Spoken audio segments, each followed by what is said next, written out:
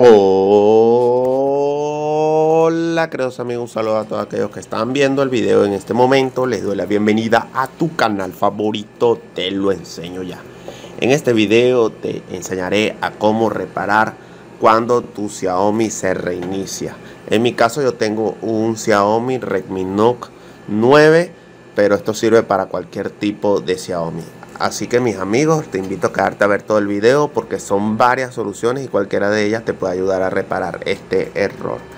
La primera solución es que vayamos acá, bajemos las notificaciones y acá donde dice brillo automático deben dejarlo así en gris o deben tenerlo en gris, así como lo están viendo.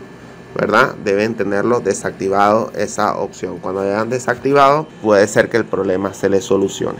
Si no te llega a funcionar de esa manera, yo te recomiendo ir a configuración. Luego vamos a accesibilidad. Se está por acá.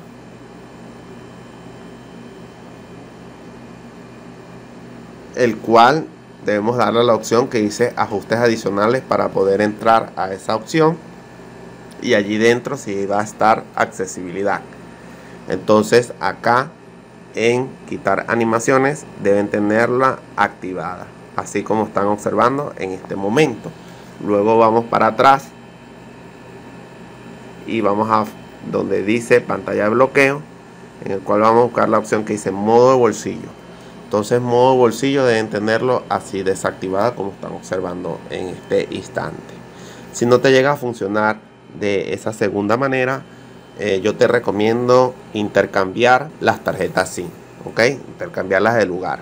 Si tienes una tarjeta SIM, colócala en la otra parte. Si tienes dos tarjetas SIM, pues intercambias las, eh, las ranuras una por la otra, ¿ok? Entonces, si tampoco te llega a funcionar de esta manera, yo te recomiendo ir a configuración. Luego vamos acá en buscar ajustes, acá en la parte de arriba vamos a colocar almacenamiento y luego te va a aparecer varias opciones. En rojo te va a aparecer almacenamiento, le vas a dar allí. Le damos en almacenamiento, luego le damos en liberar espacio y allí va a decir que se ha liberado todo el espacio eh, del teléfono celular si no te funciona de esta manera yo te recomiendo ir a configuración. Le das vamos a quitar acá.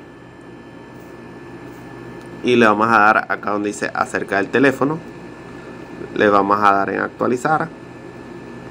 Y de allí eh, podemos buscar todas las actualizaciones que se encuentren disponibles en nuestro teléfono celular. Y por supuesto debemos instalarlas si hay una nueva versión de MIUI, te recomiendo actualizarlo para que elimine este tipo de errores. Bueno mis amigos, espero que les haya servido este video. Por favor no olvides comentar si te sirvió o no te sirvió. Compártelo con tus amigos en tus redes sociales, ya sea en Facebook, Twitter, Instagram, alguna otra red social.